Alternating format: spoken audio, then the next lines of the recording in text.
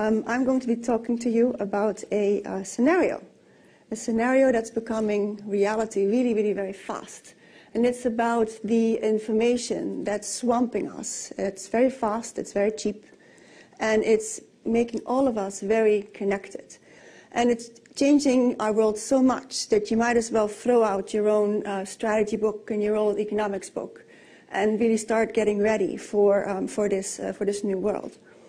To think about this uh, wave of information constructively, I found it's very helpful to split it in two trends. One about more information, what economists might call more perfect information. I put it in quotation marks because, of course, it's never going to be perfect.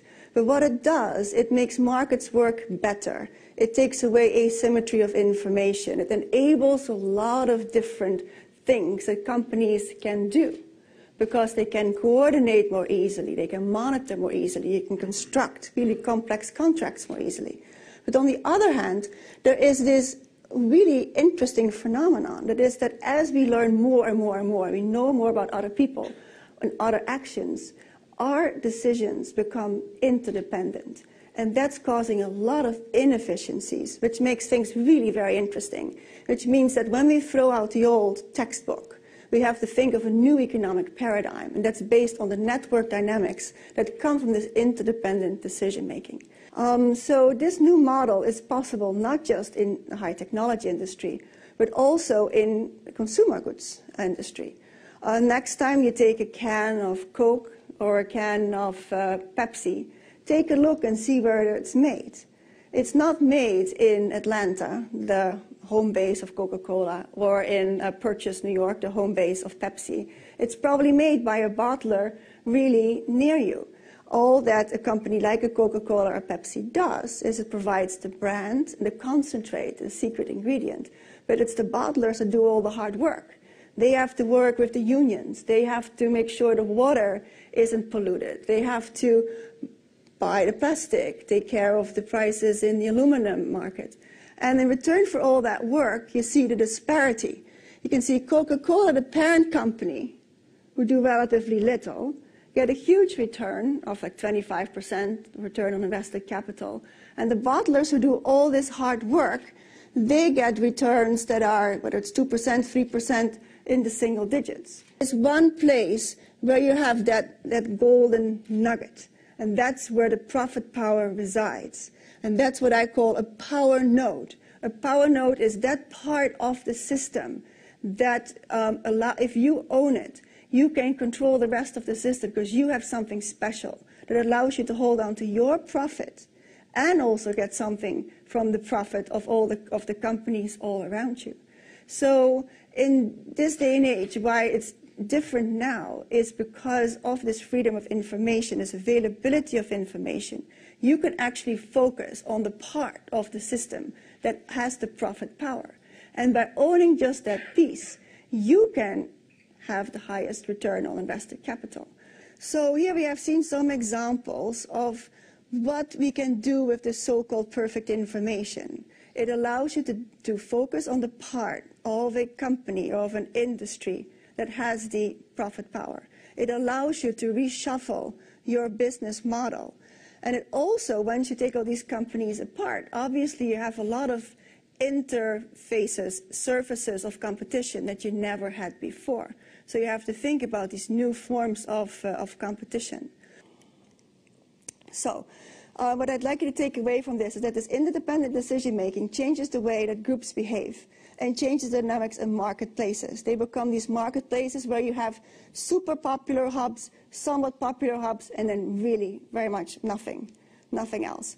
So that's why we have to really change the way we think about economics. We have to change our economics rules because many of our textbooks don't even have, you know, halfway um, any of this kind of information. And most of them were written in the time, you know, before there was even a phone line, direct phone line between, you know, the White House and the Kremlin. And we have a lot of work done on imperfect information, which of course is no longer applicable. I mean, we're in a swamp of information kind of world. So that's why you really need to then also develop a new strategy playbook. You know, if you can own anything you want in the structure of all these pieces in a company, you know, where can you find those power nodes? then how can you organize yourself with all these new degrees of freedom you have? And then what does it mean for competition? You know, of course, all our competition models are based on these vertical columns competing against each other, but obviously doesn't apply. So power nodes we'll see are the sources of profits, but also the sources of competitive uh, strength as we go on. Um, as you know, in my book, I've identified 12 power nodes. The first eight are, are, position, are positions, or their skills, or their strengths.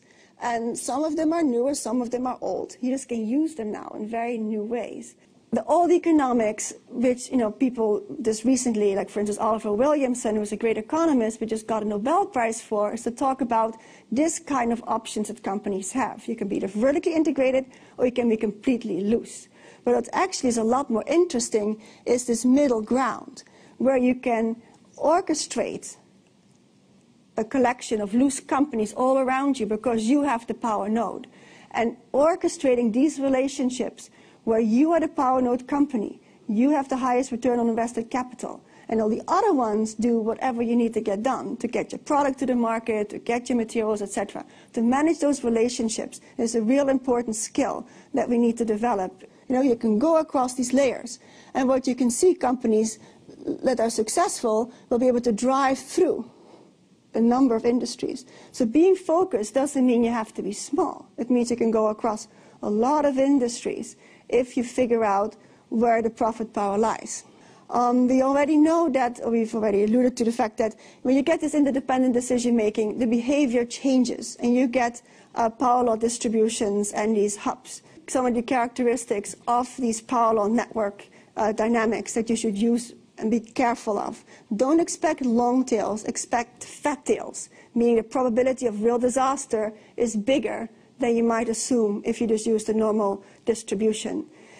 You must deploy new strategies if you want to be successful and try to focus your ownership on power nodes.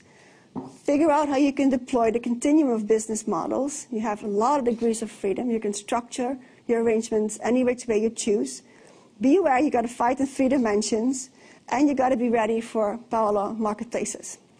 And here, ladies and gentlemen, I'd like to announce uh, Koos Timmermans, who has kindly agreed to um, give his comments and to tell us about uh, what um, he is doing with the management at ING.